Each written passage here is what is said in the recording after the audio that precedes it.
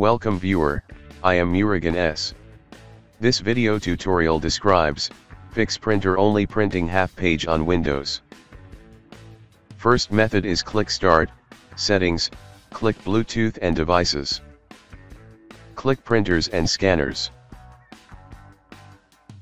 Select Printer. Click Printing Preferences. Click Paper tab, change original size and output size should be same paper size.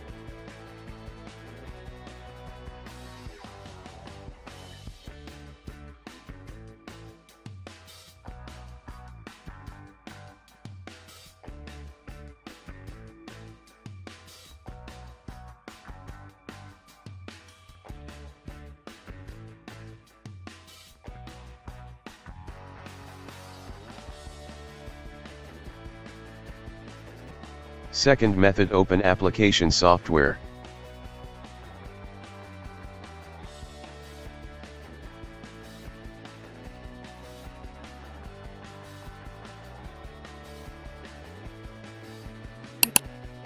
Change paper size.